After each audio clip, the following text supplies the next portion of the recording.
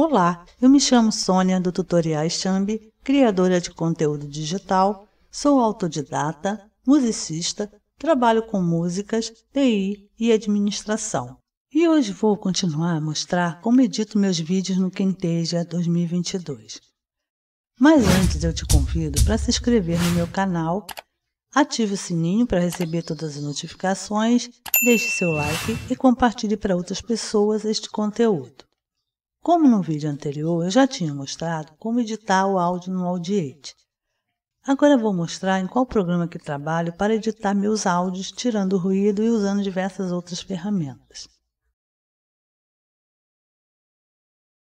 Vou nas faixas de vídeo e do áudio editado pelo Audiate para desativar. Vou novamente adicionar o projeto na linha de tempo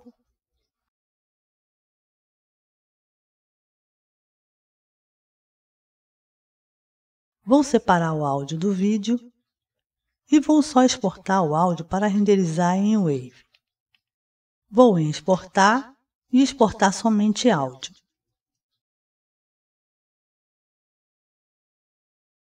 Vou escolher uma pasta para salvar, vou salvar na pasta do Camtasia. E vou renomear. Vou salvar como já tinha feito este procedimento antes, vou substituir o anterior.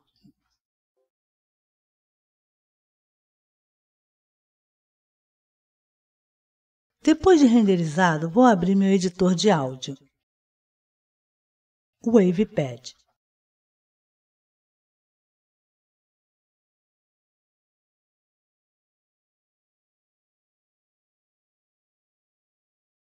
Depois de aberto, vou em Open para abrir o áudio que exportei.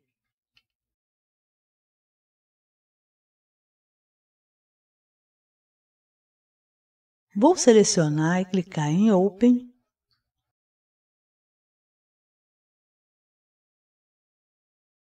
Vou clicar aqui para ouvir.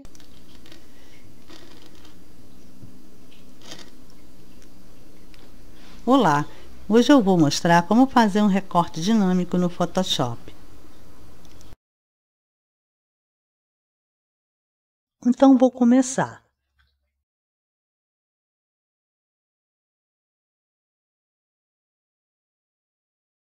Neste programa eu gosto muito de usar os efeitos. Vou em Effects, no botão Pro, vou clicar em Noise Reduction Selecionar Auto Spectrum Subtraction. Geralmente os arquivos de áudio ficam entre 30 dB e 20 dB. Vou deixar como está e clicar em Reduce Noise. Esse método é automático e fará uma abordagem automática do que é ruído e do que não é. Geralmente isso funciona bem em voz e é bastante agradável e fácil de usar. Veja que afinou bastante as ondas sonoras aqui. Vou clicar em play para ouvir.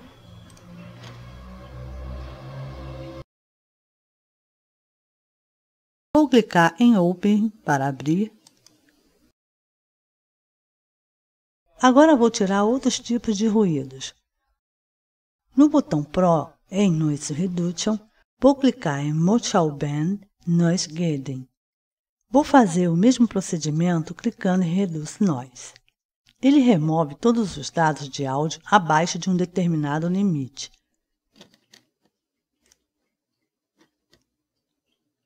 Vou selecionar a imagem que eu quero. Depois de ter limpo os ruídos, vou em Echo. Vou clicar em Play para ouvir como está o percentual do eco. Olá, Hoje eu vou mostrar como fazer um recorte dinâmico no Photoshop.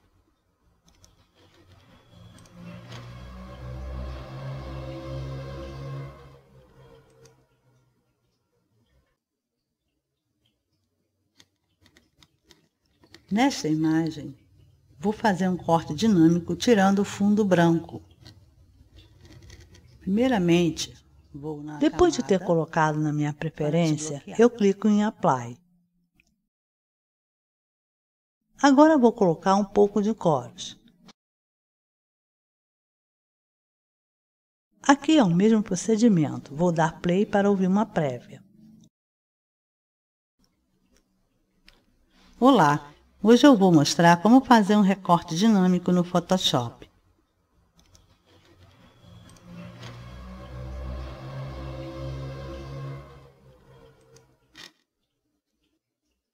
Vou clicar em Open para abrir. Vou clicar no botão Apply.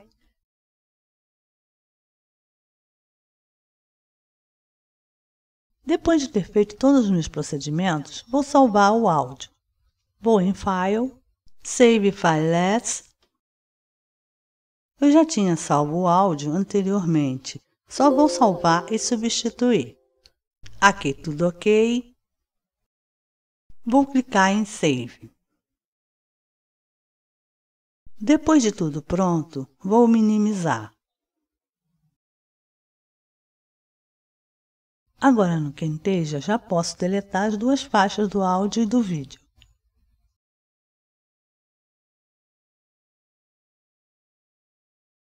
Vou importar o áudio editado no WavePad.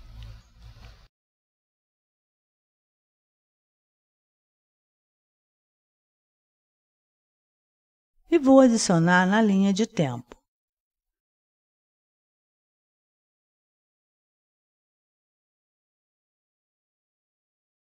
Vou ativar o áudio anterior e deletar. Agora vou dar um play para ouvir.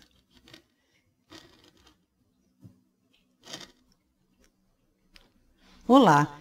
Hoje eu vou mostrar como fazer um recorte dinâmico no Photoshop.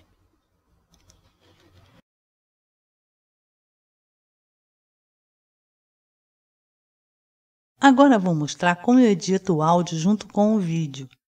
Eu costumo cortar o áudio bem próximo ao início da onda sonora. Eu aponto com o mouse em um ponto da régua. Se estiver muito perto do início, eu uso a tecla da vírgula para voltar um pouco.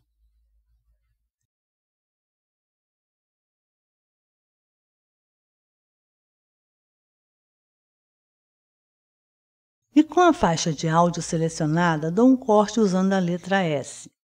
Seleciono a parte que não tem ondas sonoras e deleto usando a tecla Delete. Vou dar um play novamente.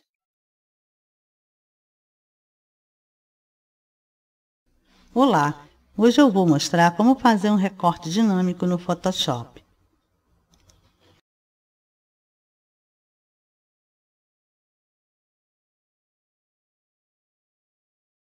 Vou cortar também o vídeo onde na imagem eu tinha descido com o mouse e que depois voltei para o centro da tela. Vou deixar onde o mouse tinha se posicionado na hora em que comecei a falar. Com uma faixa já selecionada, vou pressionar a tecla S para cortar e deleto esta parte. Agora vou dar um play para ouvir. Olá! Hoje eu vou mostrar como fazer um recorte dinâmico no Photoshop. E aqui vou também dar um corte com a letra S. Vou apontar na régua até aqui. Vou selecionar a faixa e pressionar a tecla S para cortar. Depois de cortada, é só deletar esta parte aqui. Vou clicar em Open para abrir. Eu costumo deletar as partes que não falo. Vou com a Playhead até a próxima fala Seleciona a faixa e pressiona a tecla S para cortar. E assim vou selecionando e cortando.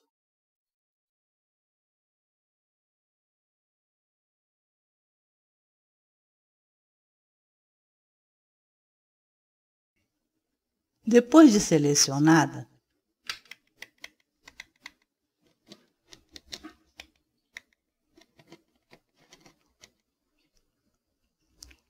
Vou aqui em camadas e criar uma máscara. Veja que aqui no vídeo eu posicionei o mouse no ícone errado. Vou avançando o vídeo até onde o mouse deveria se posicionar. Vou nas ferramentas da tela e clicar em Panorâmica, onde posso usar a roda do mouse ou arrastar a tela sem distorcer. Veja que o cursor assume o formato de uma mão na tela.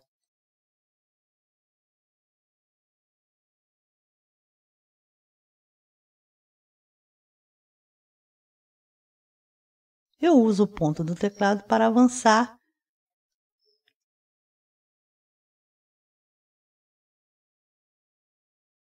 ou a vírgula do teclado para voltar.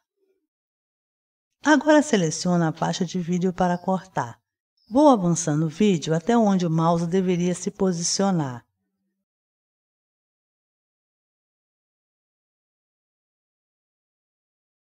Vou selecionar esta parte para cortar. Vou clicar na setinha para retornar e visualizar se o ponteiro do mouse fica no mesmo ponto do último corte. Agora posso deletar essa parte do vídeo e juntar o restante. Vou dar um play. Depois de selecionada,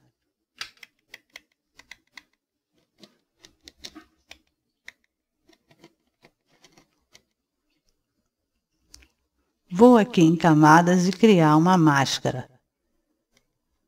Agora que a imagem foi corrigida, vou corrigir a distância de um áudio para o outro.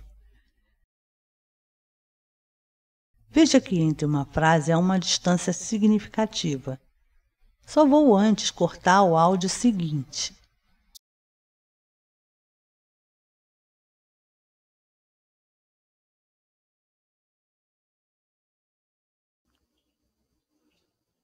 Vejam que o background está transparente. Aqui a legenda está fora do vídeo.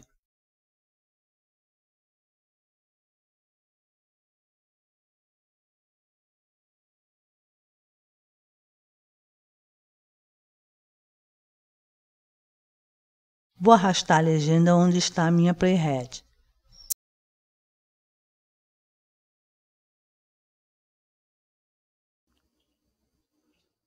Vou dar o zoom clicando no sinal de mais.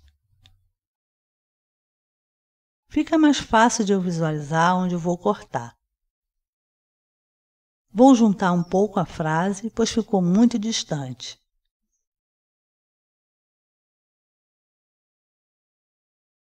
Vou dar um play. Vejam que o background está transparente. Agora é só cortar aqui e aqui.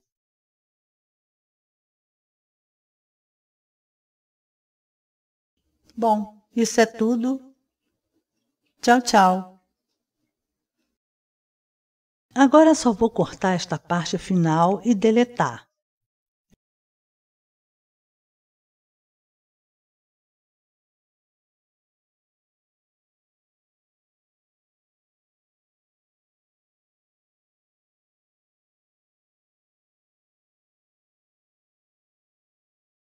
Já pronta a edição e a sincronização do áudio, posso salvar o projeto. Vou em Arquivo e Salvar. No próximo vídeo, vou começar a fazer a edição do vídeo no Camtasia usando suas variáveis ferramentas. Bom, este foi mais um tutorial. Se gostou, deixe seu like, compartilhe e se inscreva. Coloque nos comentários suas dúvidas. Então termina aqui. Até o próximo tutorial. Tchau, tchau!